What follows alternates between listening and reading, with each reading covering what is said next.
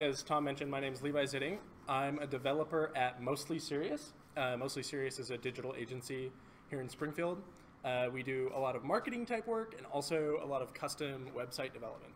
And for a lot of these custom websites that we build, um, usually they're very marketing focused websites. And when we're building a marketing website, the most important tool in our toolbox has to be our content management system, or CMS for short. Raise your hands real quick. Who has heard of a CMS before? Most everyone's heard of, of a CMS before. So are we kind of familiar with the idea behind it? What are some ones that uh, others have used in the room real quick? Just yell them out. WordPress. WordPress. I knew that that was going to be a number one. Yep. Django. Uh, Django is it has kind of a CMS behind it. Um, there's a basic admin, but Wagtail is kind of the more popular um, CMS that's built on top of Django. So I'm here today to talk about kind of an up and coming CMS. Um, it's been around for a few years, but the latest version came out in April and kind of it was a complete rewrite of the previous version.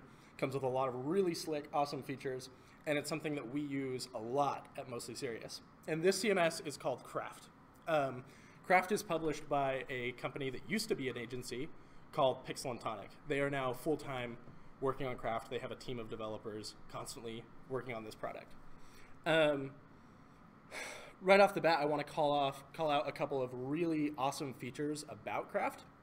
So, um, one that is kind of the headlining feature, in my opinion, is the fact that Craft is very flexible to your model of content or structure of content. Um, it comes with almost no opinions about how content should be structured in terms of how people edit it and, and how people access it. Um, compare that to WordPress, which many of you are familiar with. WordPress at its core is really a blogging platform and has is not really a CMS. And so there's a lot of opinions about you know blog posts and all the various fields that go on blog posts. Craft comes with none of that out of the box, which mean and instead gives you tools to totally customize what that structure should look like. Um, another really awesome feature about Craft um, is the asset manager. This is something that a lot of CMSs can just fall short on is managing assets. Um, Craft has a really robust way to search all the various assets on your on your current site, and also it comes with a built-in like image editor in the browser, so users can crop their images and resize and rotate them all from within the CMS, which is kind of a unique feature that I haven't seen in a lot of places. Um, another really powerful feature about Craft is its live preview mode. So uh, as a content editor, you would come into Craft, you would sit down and write up your blog post or whatever it is you're trying to do to the site, and you'd be presented with this list of fields you would need to fill out. At the top of that, there's this button called Live Preview, where you are presented with a slightly different UI where all those fields are just off to the left and your live site is on the right. And as you make changes to those fields on the left, the site automatically reloads with those changes on the right. So you can easily see what your content's going to look like once it goes live without having to save and check a preview page or worse, like actually push it live to see what it's going to look like. Um, and then also, kind of the last big feature um, that is awesome about Craft is their plugin ecosystem. Uh, earlier this week, Craft announced on Twitter that they had reached over 500 plugins on their plugin store, and more are being added almost every single day. Um, a couple of like high, highly rated, highly used plugins that are honestly some of the reasons I would choose Craft if I was like starting my own personal project. Um, one of those is an S- uh, a plugin called SEOmatic, which is a really amazing uh, SEO management plugin.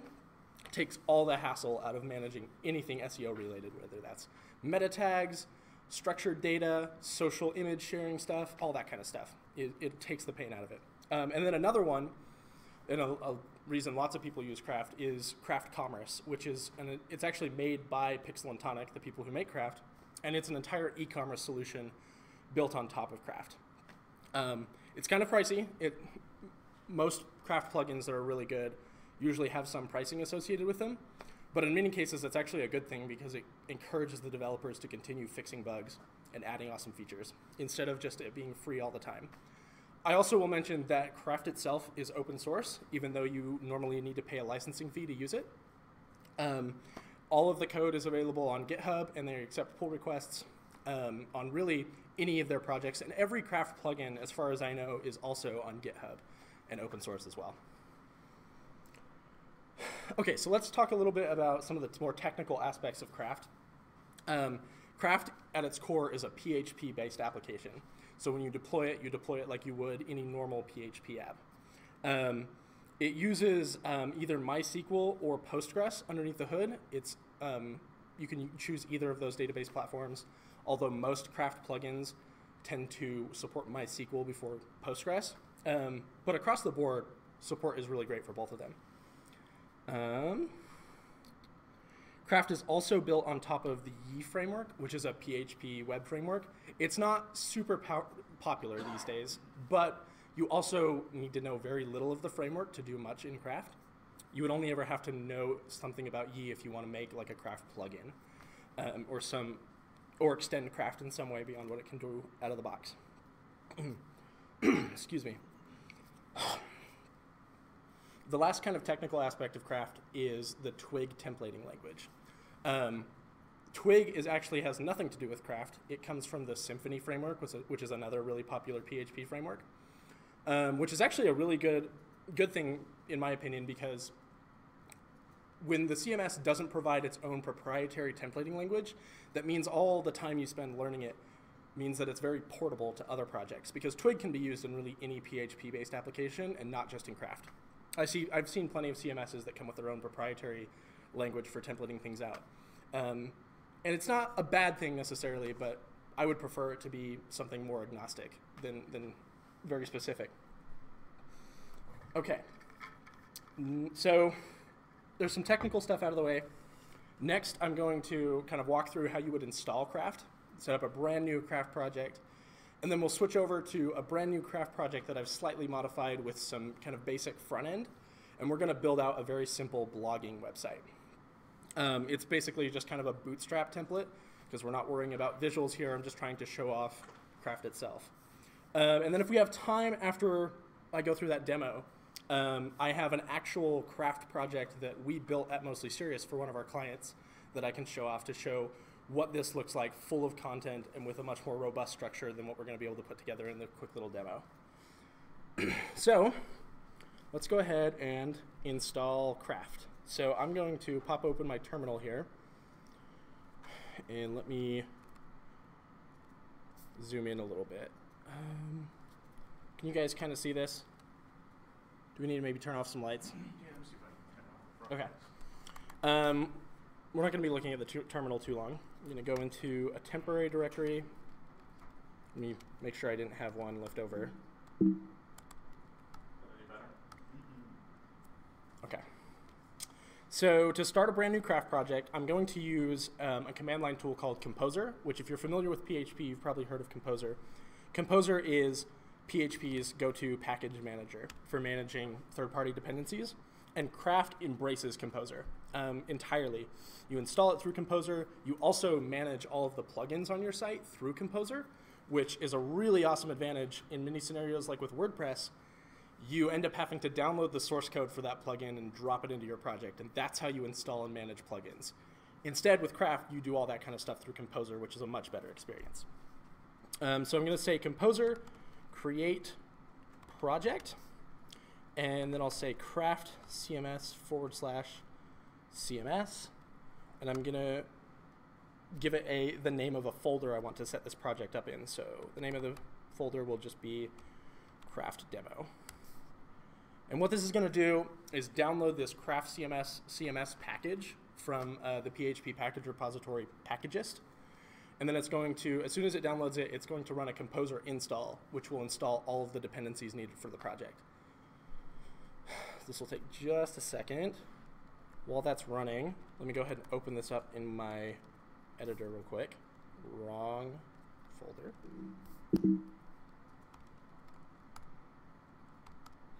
Okay, that's the one.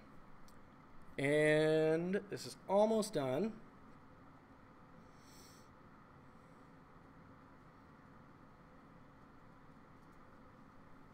Come on. Of course it runs slow during a presentation. Only when I really need it to go fast. Okay, while that's running, let's kind of jump in and look at the basic uh, folder structure that it's set up here for me. So let me zoom in way here. Okay.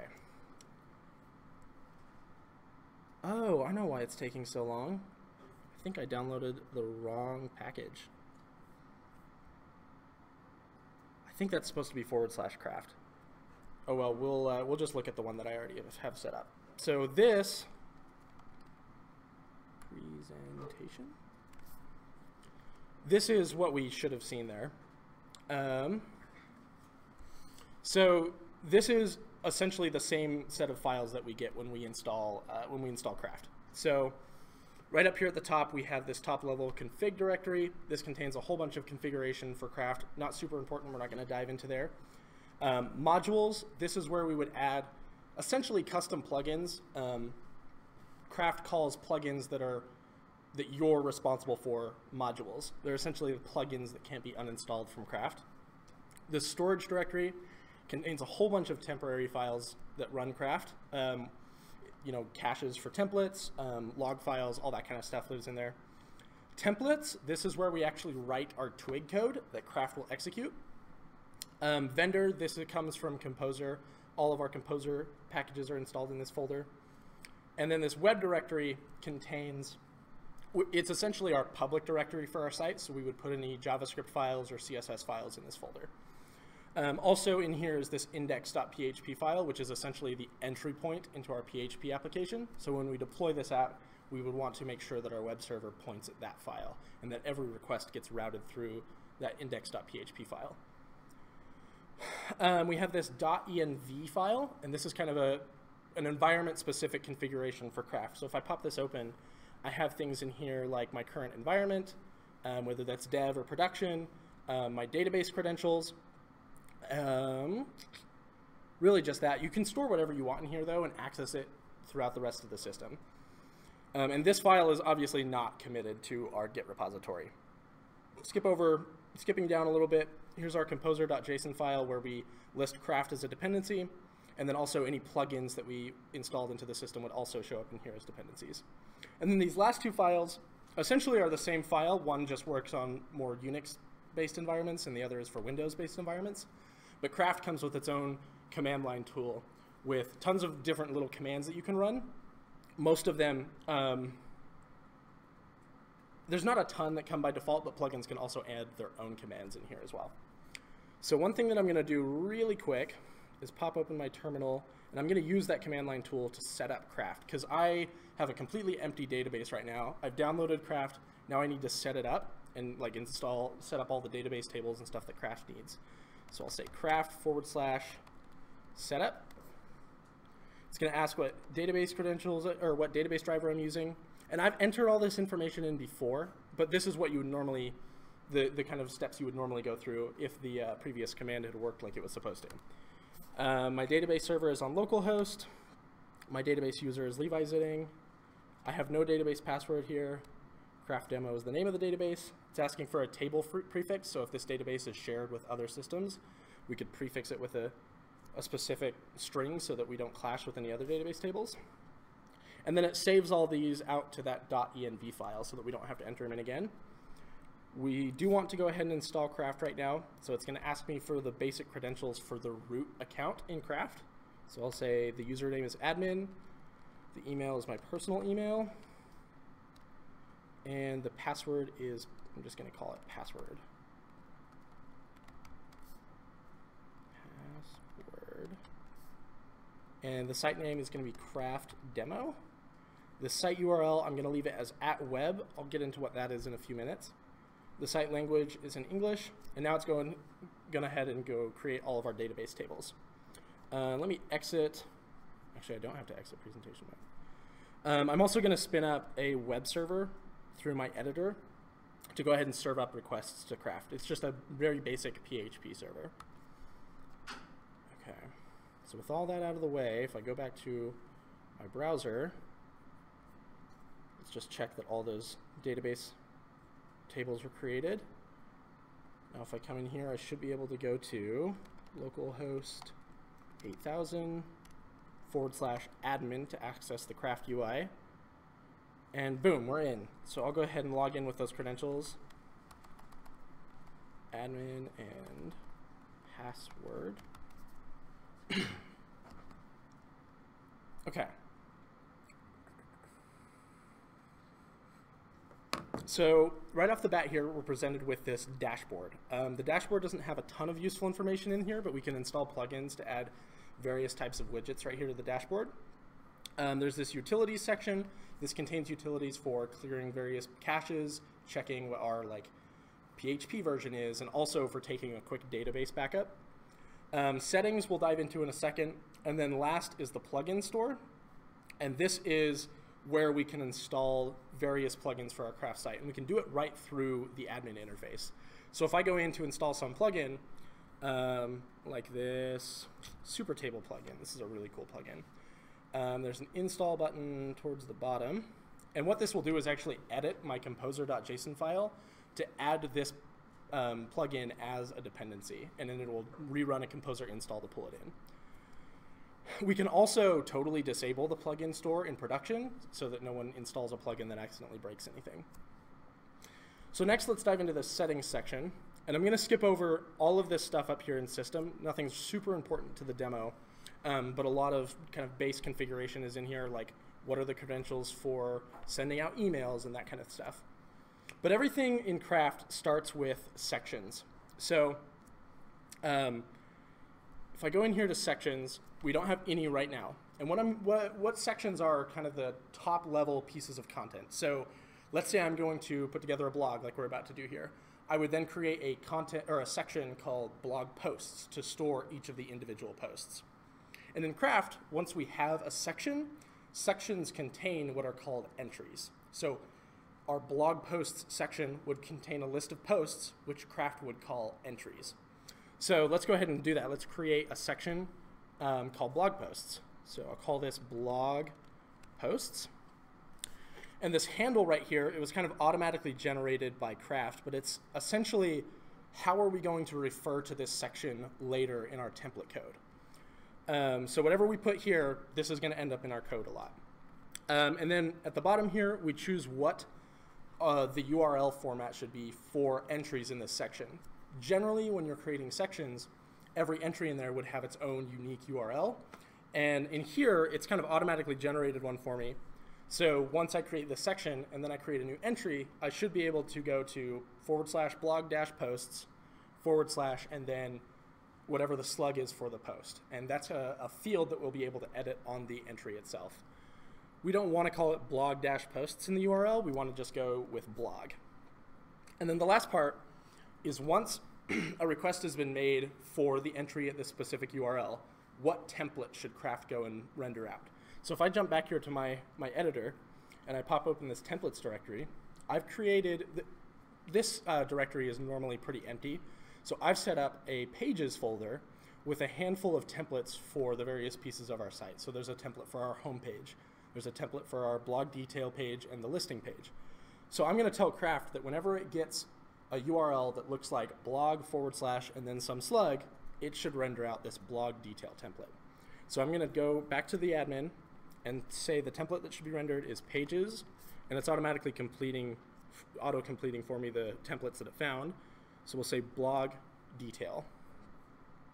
And I'll go ahead and save that. And as soon as I saved that, it added this new section on the left here called entries. And if I jump into entries, we now have this thing called blog posts we can click new entry and now we're creating a brand new blog post. So I'm just going to create one really quickly called test.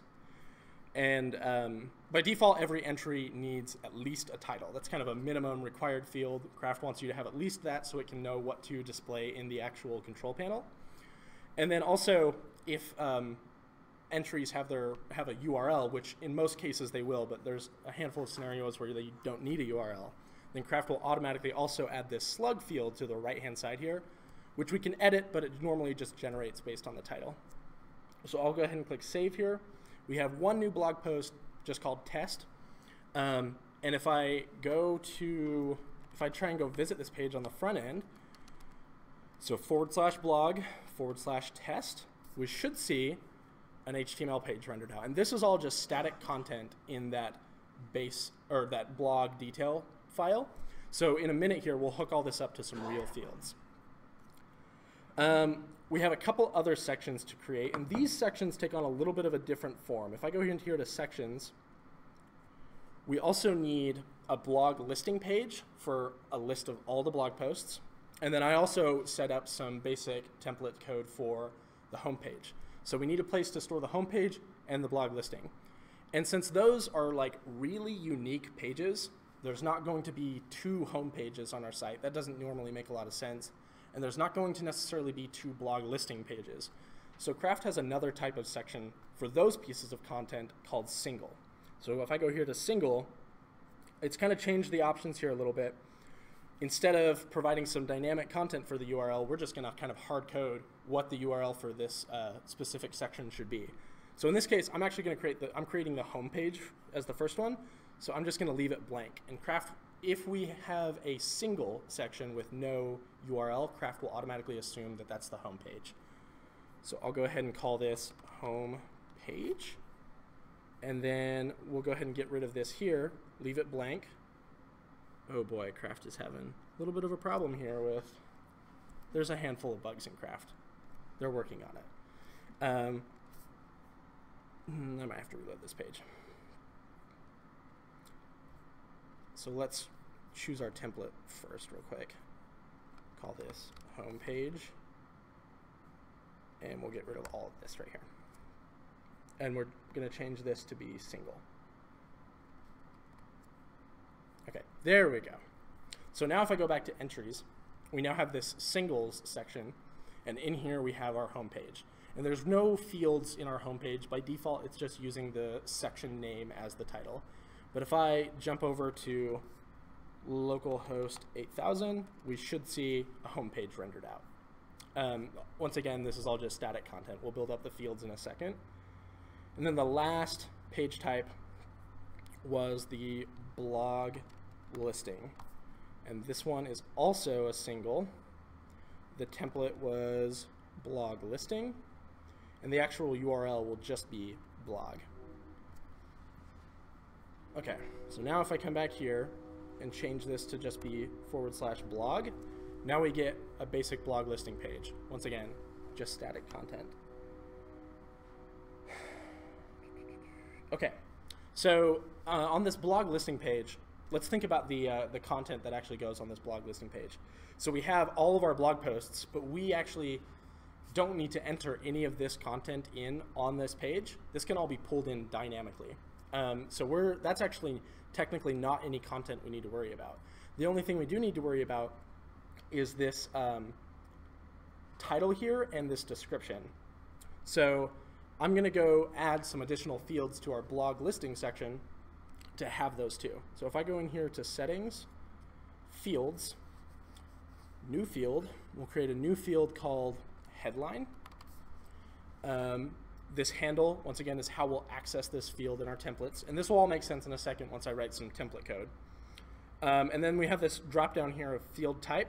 We're going to leave this as plain text. So let me go ahead and click save. And then while I'm here really quick, I'm going to create another one that's just called description. And that'll also be just a plain text field. So now if I go into settings and sections, and I'm looking at the list of sections we've created, there's this little button here that says edit entry type. Um, whenever we create a section, sections, unless they're singles, they can have more than one entry type, um, which is essentially just kind of like if we had a blog page, like a blog detail page, maybe there's several different kinds of blog post. Maybe there's like a news post or one that's just a generic blog post. Those would be different entry types. And those different entry types could have their own sets of field that differ from each other. So I'm, but singles only have one entry type. So I'm going to go into blog listing and click edit entry type.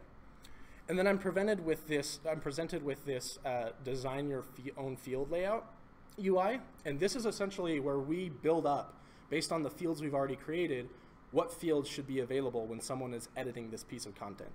So if I come over here, I'm going to create a new tab, just call it content.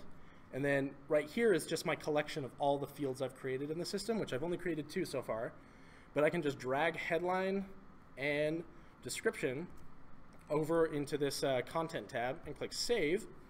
And now if I go back to entries, singles blog listing, we now have a headline field and a description field for this specific piece of content.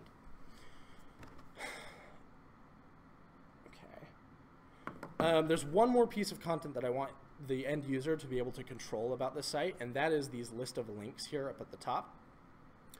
And since these, these aren't specific to just one page, this piece of content is global across the entire site. Every page would load um, the, the content for these links up here.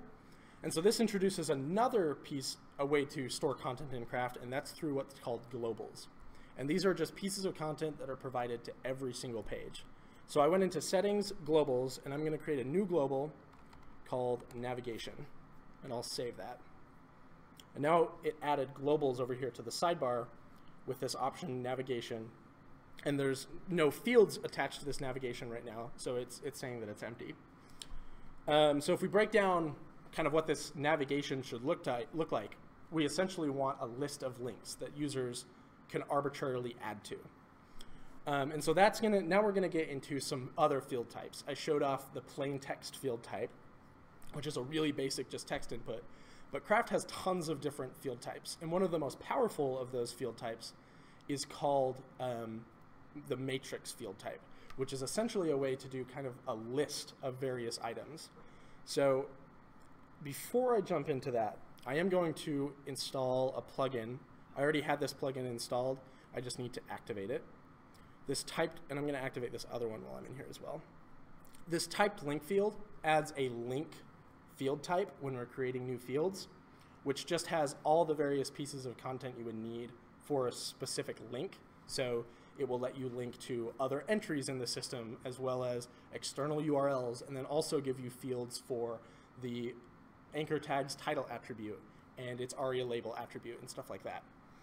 So once now that that's activated, I'm going to create a new field. We're going to call this field link group. And I'm going to come down here and create, set the field type to be matrix. and now that it's set to matrix, we're presented with a slightly different UI to configure this field. We're presented, so matrix, matrices, matrices, that's the proper plural, are essentially a group of other fields. Um, it's a way to nest your fields down so that users can create kind of repeated sets of the same field, essentially. So when we're creating these block types here, it's giving us this option to create a new block type. We're creating a new set of repeated fields. So I'm going to say new block type. I'll call this block type link item to represent each individual item in our list. And really the only field that we need on each item is this special link field that I just installed via a plugin. And I, I want to call it just link, but link is actually a reserved word in the Crafts templating language. So I have to change the handle to be custom link instead of link. But the actual title can just stay as link. And then if I come down here, uh, this link field option in our field type dropdown was not here earlier um, it was added when I installed that plugin. So I'll change the field type to be link type. Um, and then we're presented with a whole bunch of options here. And really quickly, I'm just going to deactivate the ones that I don't care about. I'll show what all this means in just a second. Boom, boom, boom. And then this. So what I'm doing right here is by default, users can create links to assets in the system or various categories Categories are another concept in Craft that I'm not going to get into tonight. Um, Craft is also also has multi-site support, so you can have one Craft control panel that powers multiple domains. Um, this gives us the ability to link to another site. We're going to turn that off, and also the ability to link to individual users. We don't really want them to do any of that kind of stuff in the navigation, so I've disabled all those. And then I've also turned on the ability for them to add an ARIA label and a title to this link. So I'll go ahead and click Save. And now we have our new link group field.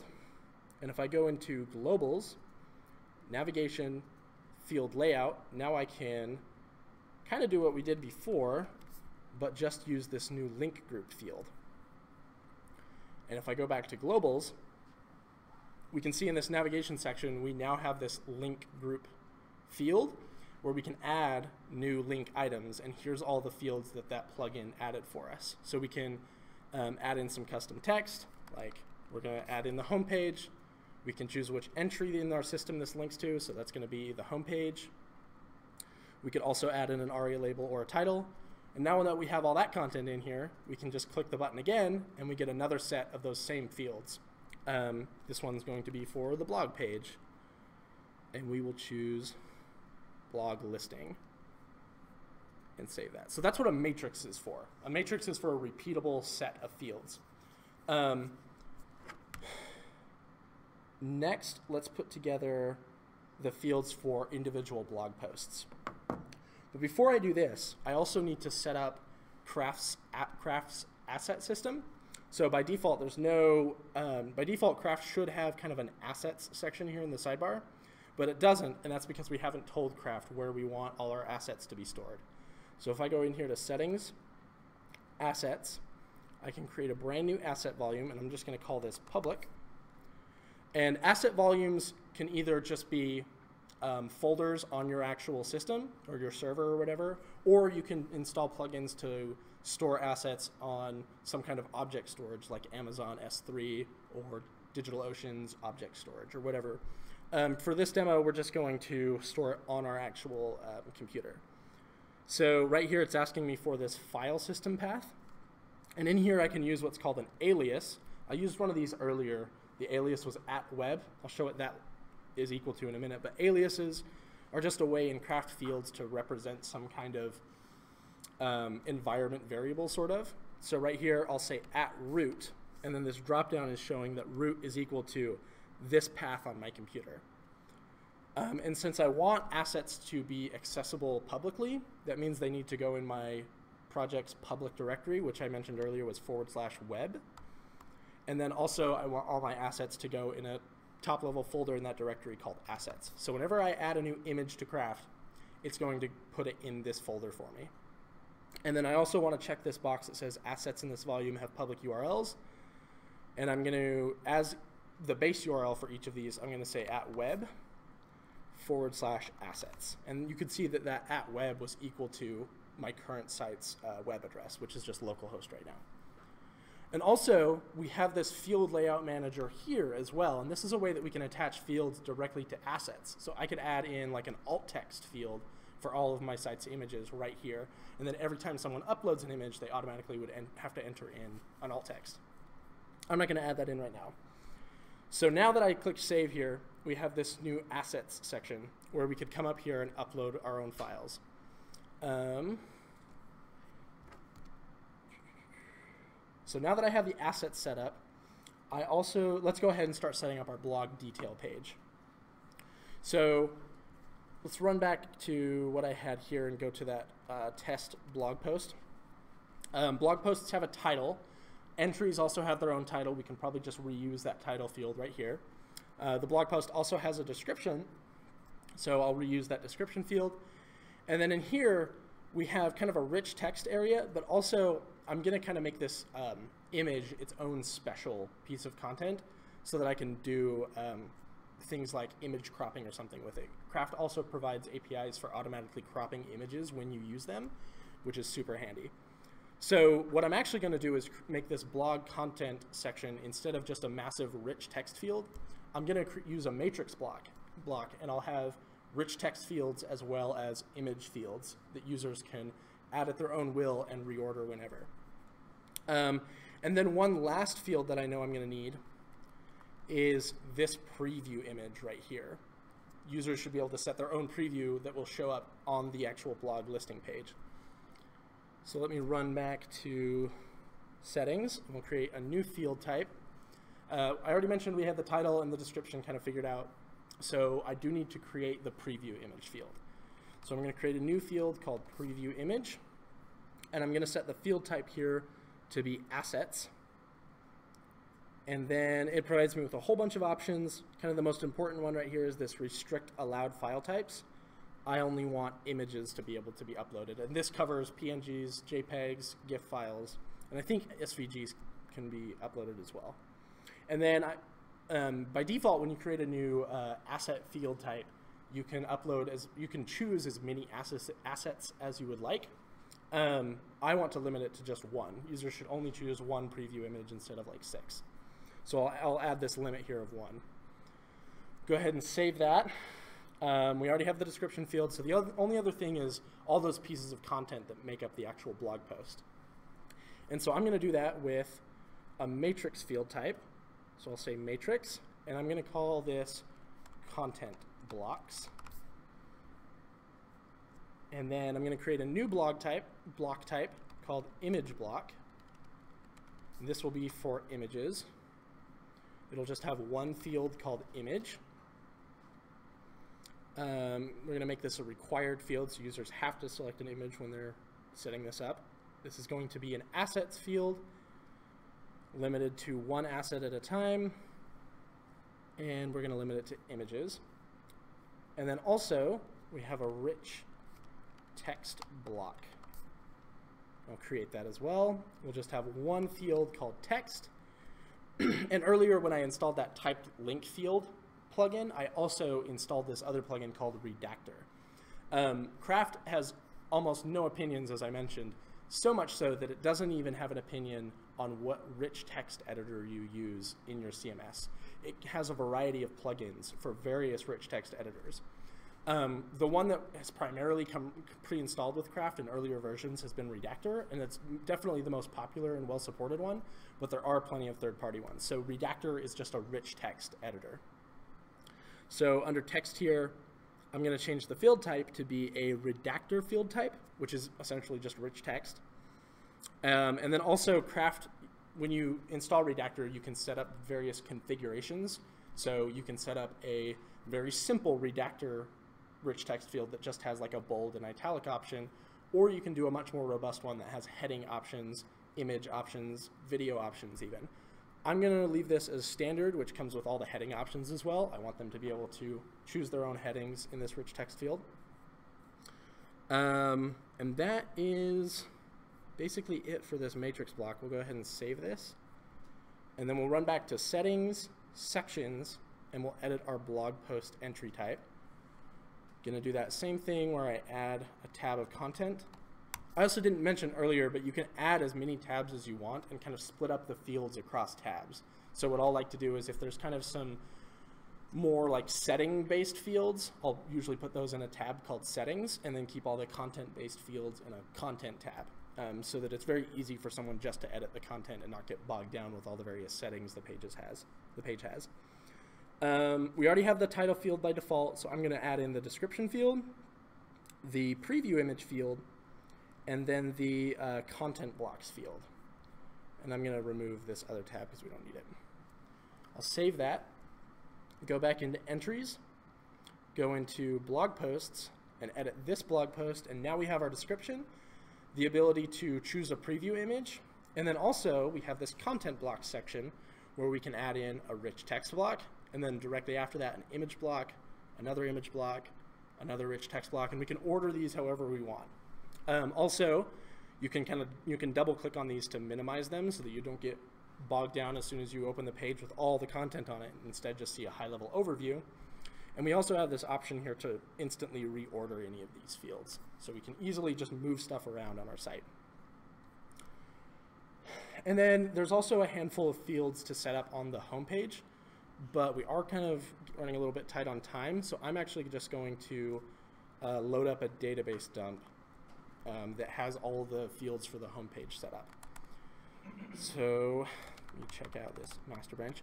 By the way, all the code for this demo is up on my GitHub, uh, glitchmob forward slash, I think it's craft dash CMS dash demo, and all this code is available up on there.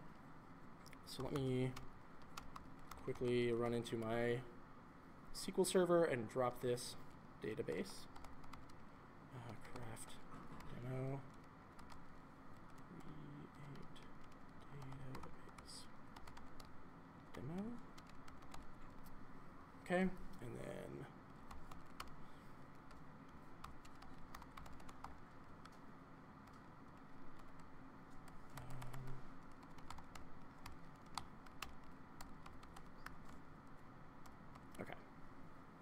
and we're good. So now if I go back to the admin, we should see,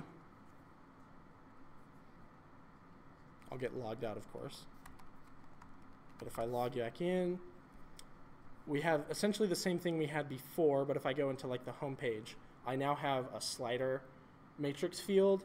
Um, I have this image callout set field, and um, also this two column callout matrix block, which represent each of these uh, pieces of data right here.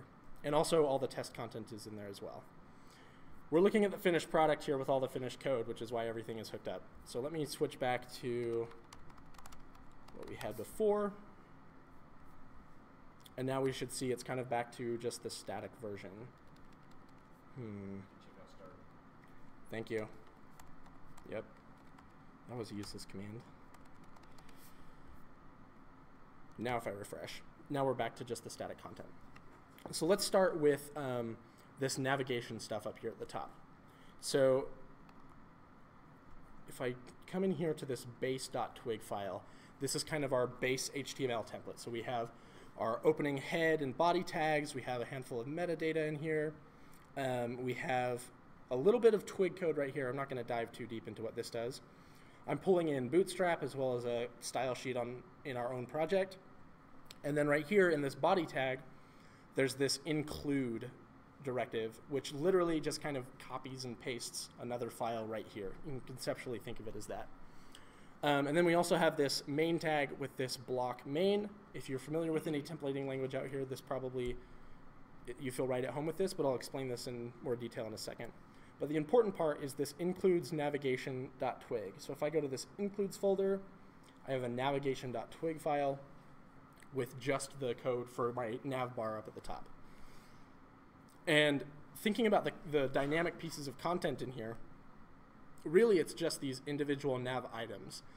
Remember, I made that link group field and added, um, it was a matrix block that had links inside of it, link items. So each of these right here become those link items. Um, and then this anchor tag inside would become the actual link field that I had. So I'm going to remove this duplicated one, and we're going to work with just this guy. So the matrix block um, provides an API that will essentially give you an array of all that data, all the data in all those fields. Um, and once we have an array, we can loop over it. So I'm going to use a for loop um, for link item in, and then how do we access that data? How is Craft going to give that to us? And before I mentioned that Craft has these this idea of globals, global pieces of data. And when I created that navigation global, whatever is the handle for it, which in this case is just navigation all lowercase, Craft automatically provides that as a global variable we can use in any of our templates to access that data. So I'll just say navigation, and we had added one field to that navigation global, which was link group. And then link group itself was a matrix field. And the API to grab all the data from the matrix field and return it as an array is dot all. So I'll run this as like a method here. And then I need to put in a closing tag for this for loop. And I'll move all of my template into here. So right now, if I come back over to my markup, or to the, the demo, we should see there's two of them. They're just repeated because we haven't plugged in the rest of the fields into the individual pieces they need to go into. So right off the bat, we we essentially just had that one field custom link is what I called it, um, and the uh, link field plugin I'm using gives us a really handy API to just get the entire anchor tag all at once. So I'll say link item dot custom link because that's what I called it on each individual one, and it provides us a, a method called get link, and this will return an anchor tag with all the data where it needs to go. So if I run back here and refresh, we see here we have home and blog, but it's also styled really weird. And that's because the anchor tag that it's spitting out doesn't have this class of navlink.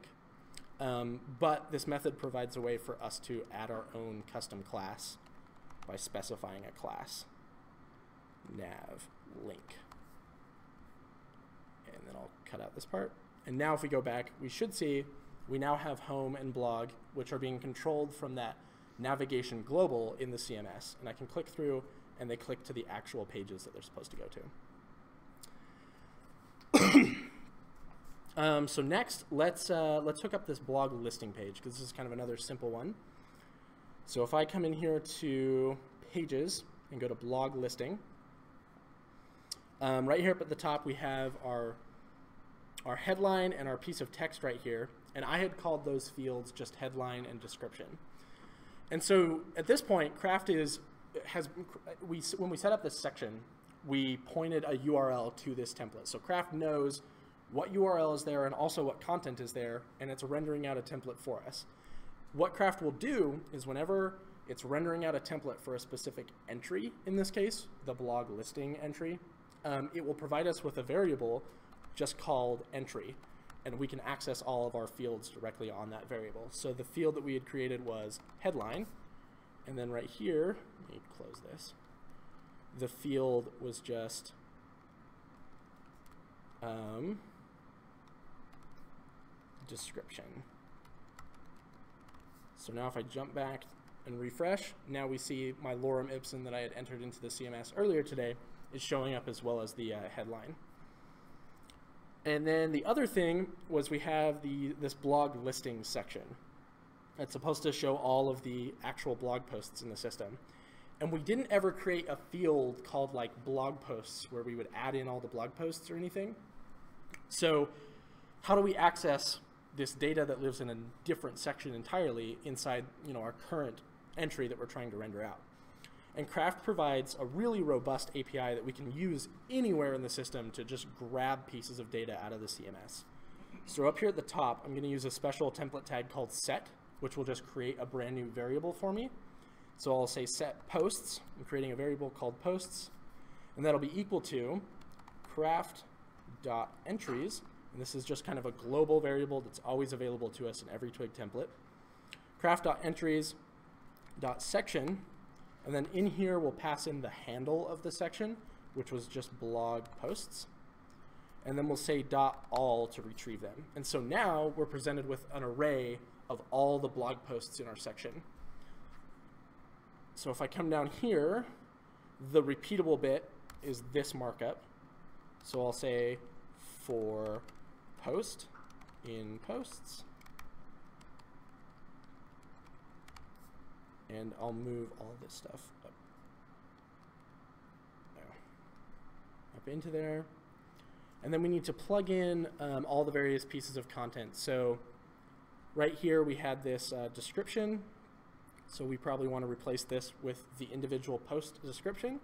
So I'll just say post.description. And then this right here needs to link to the actual blog detail page. And so we'll replace that with post.url.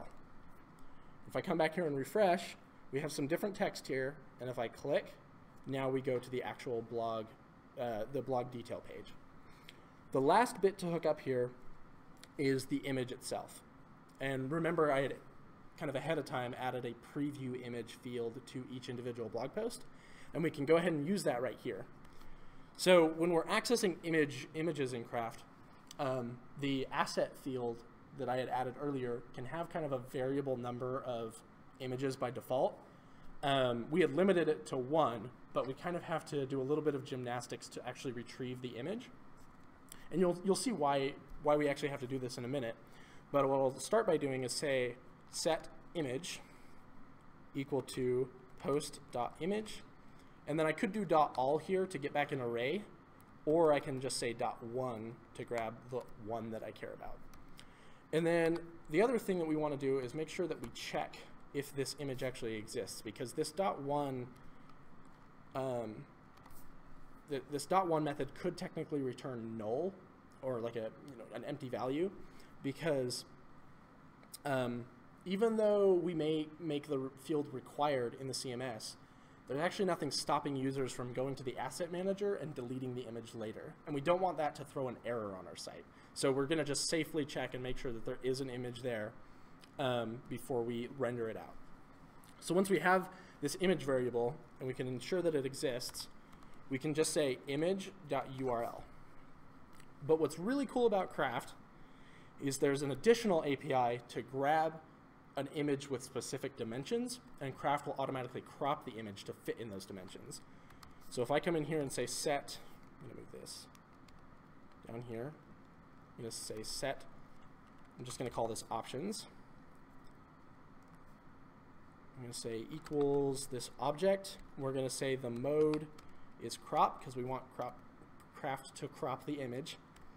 We'll say width is, um, I think it was 350. Yeah, 350, and then the height was 250. Oh, yep. Thank you. And then instead of calling URL, we'll say get URL and pass in these options as an argument. And so now, if I jump back over here and refresh, thank you. I'm all over the place tonight. Okay, now if I refresh, um, possible to invoke, oh, this isn't called image, it's called preview image. I did that when I was practicing too. Okay, now we're not getting any image at all. Why might that be? Preview image. Oh, wait. Well, that's right. Oh, I know what it is. Um, this is a stupid issue, but when I'm using the local like PHP built-in web server, the image cropping sometimes causes a segmentation fault, and so I just have to like restart my server. Something that never happens in production, but happens when you're like using the PHP built-in server that's not super good. So now if I refresh, there we go. It's generated the, a brand new image at the dimensions that we specified. And so if I like open this up in a new tab, we can see that it is actually 350 by 250. The original image is like 1920 by 1080. Can I see that pattern? No, the URL pattern for the image. Oh, yeah. Oh, yeah, it, it generates the name of this uh, folder right here based on the options that I gave it. So it caches that out too. Yep, it caches this out so it only has to run it once. Um, you can also, when you're creating your assets, you can also specify a list of asset transforms. Um, so you can say header, and then whenever in your template code, you can just pass in the name of that asset transform header, so you can define all this stuff ahead of time. I normally don't like to do that because then if I have to change, what happens is this URL pattern will say underscore header in it instead of these dimensions that I specified. And so if I change the dimensions later, it won't, it might regenerate the image, but it's the same URL, and so it's cached in a lot of places. And so I usually like to just specify it in my template, so I get this really awesome, very specific URL. Um, you can go either way though. Okay, so this is our um, our blog listing page. If we added another blog post, it would also show up right right beside here. Uh, how are we doing for time? We can probably do. I'm not going to hook up the home page right now. You can check out the, the repository later for how I hooked all that up. But I do want to show off how to hook up the blog detail page. Okay, so right off the top here, we had one field called description. So I'll add that in. I'll say entry dot description. And then I have this whole rich text section and an image. And remember, I had this matrix field called uh, content blocks. And it's a matrix field, so we can loop over it. So I'll say for block in entry dot content blocks dot all. And then I'll close that for tag. And then there's a special vari- uh, property on these block objects called type. So I can say if block.type is equal to, and then I'll just compare it against the handle. So if it is equal to image block, then I want to render out the image. And let me jump back into our blog listing and kind of grab all this code for getting an image. So if it's equal to image block, then we want to grab that image, set image equal to block dot image dot one. And then let me replace this class here. And then the options, I think it's like I had like 600 in here or something. By like 300, I don't remember what the dimensions were. It's not super important. And then after this if statement right here, we can add an else if block dot type is equal to our rich text block. And then we'll just render out a rich text div and say block dot text. And then I'm going to use this special filter here called raw. Um, basically what this does underneath the hood is raw is like a function and the templating language will take this value and pipe it through this function and this just disables all the automatic escaping that twig will do to ensure that we don't have any like xss vulnerabilities because um, we normally don't want to uh, trust user input but since it's coming from users we generally trust it's fine to say raw so now if i come back here and refresh our blog detail page. Um, let me make sure it did crash again, dang it. There we go. Now we have our image in there and our rich text, and we could go add in more fields and they would be rendered out appropriately. Um, and I'm not going to hook up the home page right now. Once again, you can just kind of look at the, uh, the code demos to, to see all that stuff. Um, so we're kind of at time right now. Um, if anyone wants to, if, if, anyone is against me going over, um, I won't do it. Because I have questions. Have, well, I can still wait for some questions, but I do want to take a second and show off the actual like production project that is out there in the wild right now. Um, so late last year, let me get out of presentation mode. Uh, we put together a site for one of our clients. Um, called Paragon 360. That's the name of their business. And we, we built them a site using Craft CMS. And we launched it early this year, like in January. Yeah, I guess that's when we launched it. So I'm going to open this up here.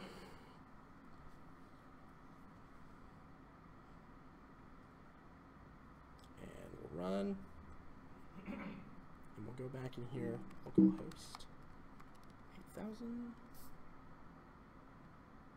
Okay, so this is their front end. Let me go into their admin real quick.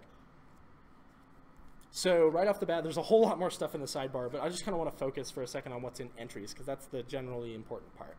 So right off the bat, we kind of broke down their site into kind of services and projects and industry. These were kind of some top level big things in their system that was kind of custom to them. So these are all various content types that they can create. But the kind of important thing that we did for the rest of the pages, we, we just created a section called pages. And this, this section, um, before when I was creating sections, there was kind of a drop down that said like channel or single, and there was another one called structure. And structure is for content that has kind of a nesting structure to it. So right here, we're kind of looking at all their pages on their site, and we can see that this like success page is nested underneath contact. And what this means is that when someone goes to forward slash contact forward slash forward slash success, this is the page that gets rendered out. Um, so normally what we do is we kind of wrap up all the pages into one nice pages section instead of keeping those all in just singles. Um, and then another thing that we do that's really, really cool, if I create a brand new page, we only have a couple of fields here.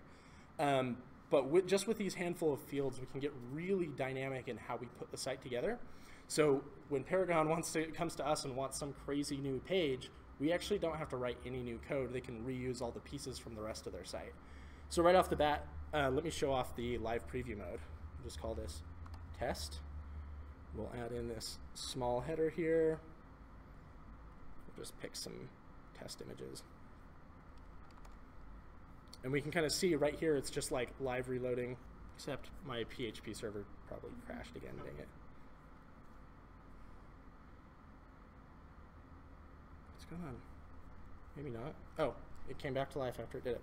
So like as I'm putting things together, it's like automatically reloading the site. So we have this field here called blocks where we can just throw together. We essentially took the site as a whole and cut it into all these smaller pieces that could be reused on any other page. So right here, this is just a rich text block. I can add in some test text here and it shows up. We have various sliders, various um, card sets. Um, right here, this contact call out, this is like, you know, their map with their about information. They can throw that on any page easily. Um, and the templating to hook this up is surprisingly simple. Um, we can just, instead of breaking the site down into the, various pages, we break it down into the various blocks and the content editors can make the pages as they wish. So that's kind of what I wanted to show off really quickly with, with Paragon is what um, what it looks like to have a much more, a lot more content in there than just our simple little demo could put together. So I'll go ahead and open it up to some questions. Shoot. Jason. Does um, Craft CMS offer sort of a headless mode where if Um,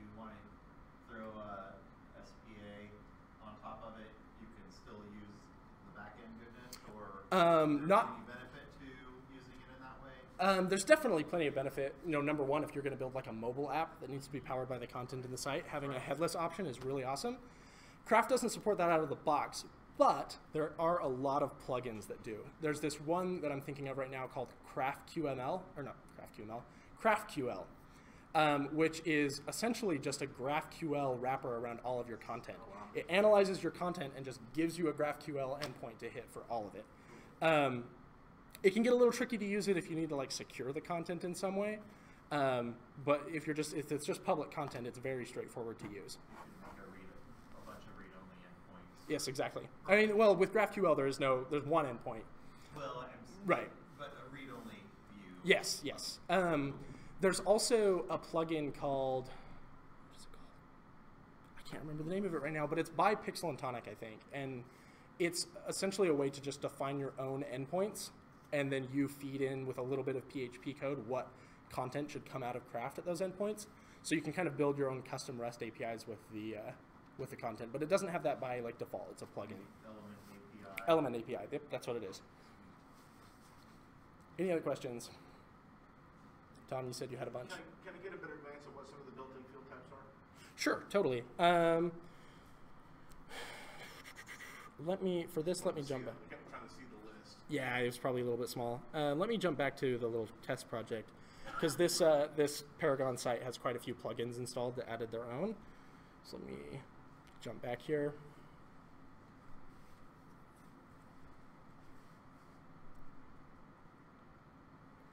Okay, and refresh. Okay, so if I go to settings, fields, new field, and field type, we have assets to link to assets, categories to link to categories if we created them, general checkboxes, colors, date times, dropdowns, um, entries. This is to link to other entries. This is kind of like a, a relationship field essentially. The one way to do like a relationship field. Um, that's essentially a toggle switch. It's like this. It's a fancy uh, checkbox. Yeah.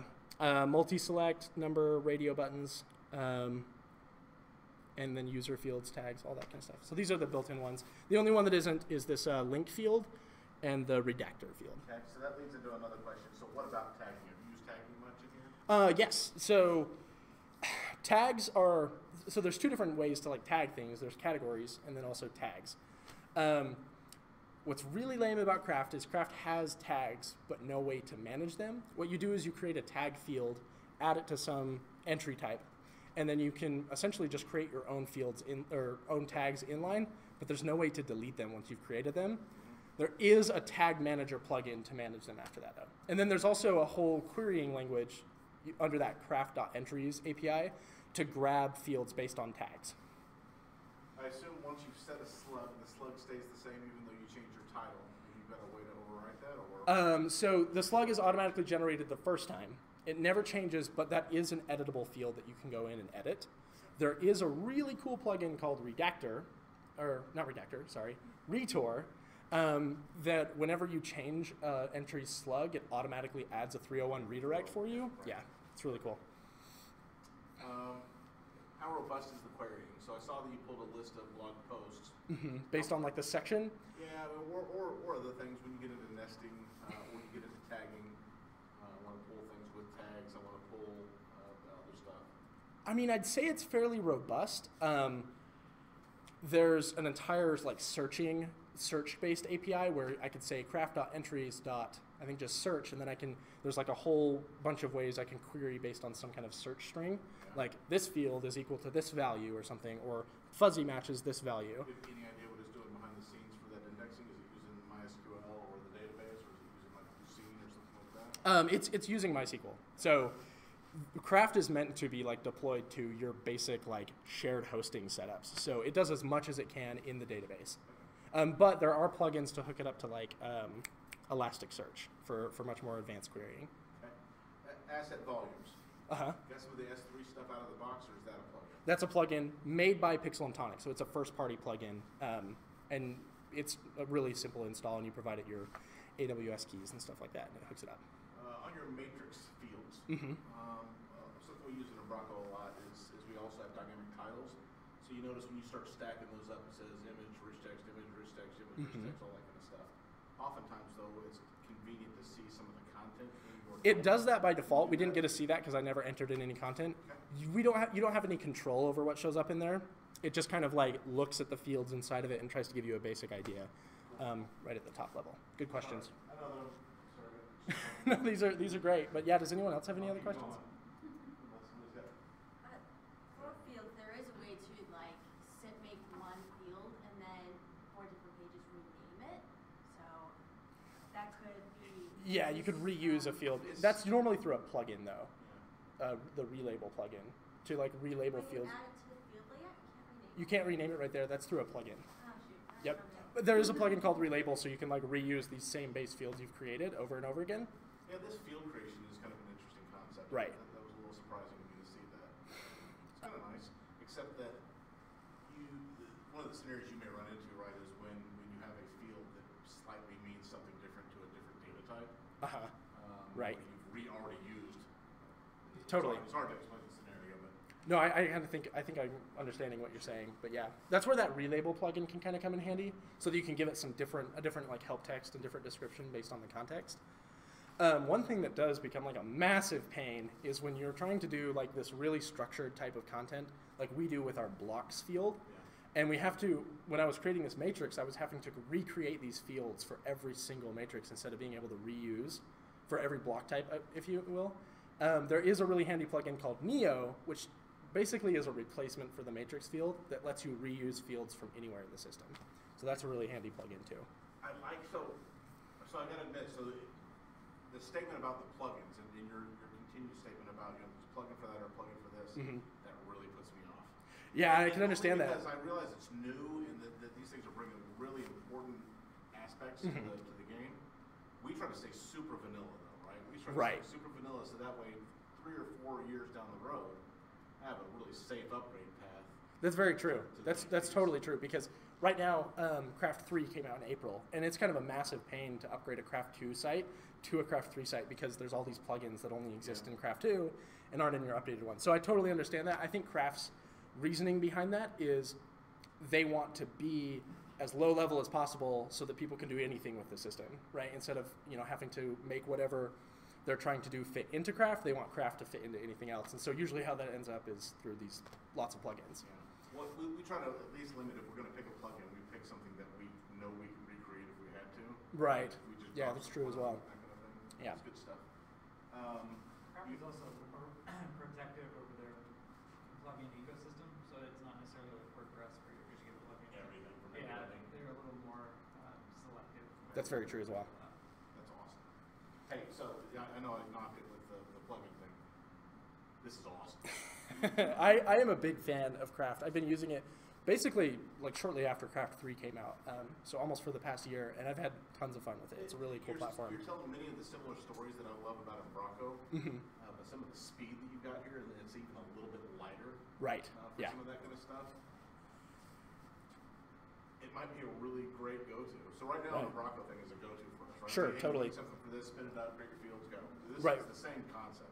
Right. Uh, a little faster, a little leaner here. Right. So- and, and, the number of use cases you're handling right out of the gate is a boatload, man. It, it kind of is, which is a super super good plus one for Craft. Um, we're coming from like Wagtail. We use Wagtail tons at Mostly Serious for previous projects, and it's kind of the same scenario. It's like Craft is so much faster to set up and like set up all these fields. With Wagtail, we're having to create all these Python classes to represent all of our data, which in many scenarios is actually what you want because your data model is so much more complicated than just basic content.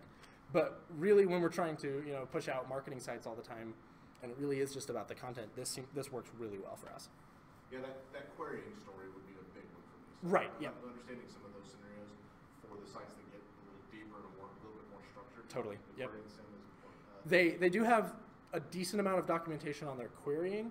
One kind of note I will say about Craft is when it comes to the plugin development, your documentation is the Craft source code. Sadly, they are working on the docs very. They've said that it's a focus for this year, is to get their docs up to par. But right now, their docs are kind of terrible.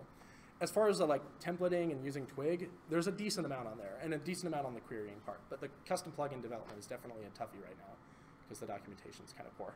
All right, so do we have, what, what are you using for your editor? Uh, for the rich text editor, No, no, no, your um, uh, IDE. your- Oh, I'm using PHP Storm. Oh, So, so any, any great IntelliSense here at all? Um, I saw you had entry- right. Entry content blocks and stuff like that, and I thought, man, that'd be awesome. right, it would be. If it would pick up your entry, at least your entry to your model for. for Sadly, no. Um, so I, I know that Um- Umbraco will like generate classes behind the scene based on all your data. Strongly typed stuff. Right. Um, PHP is a strongly typed language, sort of, but um, Craft doesn't do any of that automatic generation of classes. In fact, even Twig support in um, in uh, PHP Storm is kind of lacking. You can't do debugging. You can't debug Twig templates right now, um, and the auto completion is meh at That best. would be crazy sexy because then you Yeah. can build something and hand it off to somebody else and they can start exploring. Right. Yeah, that would be really cool. Template for your That would be really cool. Uh, have you not tried Docker for your for your um, main engine running that? Uh, I have not. I'm not super on the up and up with Docker, but I have thought about it because it is annoying to have it crash every time it tries to generate an image. I've, I've gotten rid of Apache on my Mac and Mhm. I'm using Docker Compose for all of my Right. stuff. Uh, Yeah, that's a really good idea. well. Yep. We'll try it out someday. This is awesome. Yeah. Any other questions? Okay. Well, we'll call it at that. Thank you, everyone, for coming. And I'll be hanging around a little while afterwards if anyone does have any more specific questions. But thank you for coming.